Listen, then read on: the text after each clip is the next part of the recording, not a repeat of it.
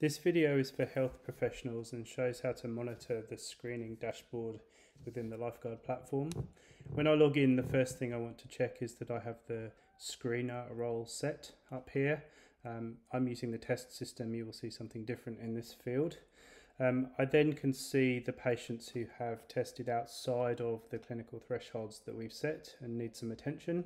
Um, the more acute patients are shown on the left, the less acute ones are shown on the right. Um, I'm going to select patient Paul Washer who just reported and we can see that there are a number of symptoms here outside of the clinical thresholds. Um, Paul has a severe fever, very severe chest pain, and if I scroll to the right, uh, very severe, tight, severe tightness in chest, um, severe shortness of breath, and a very severe cough. I'm going to flag that I have reviewed each of these graphs.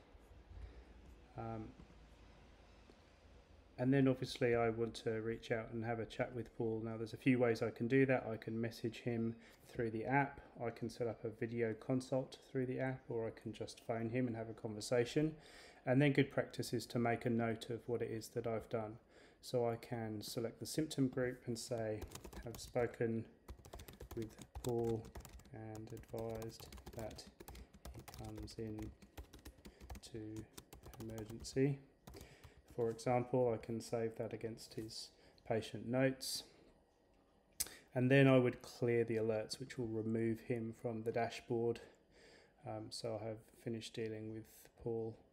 Um, if I want to then go back and see what's happened, I can click on the screening log, and this gives me a textual log of the events that have occurred.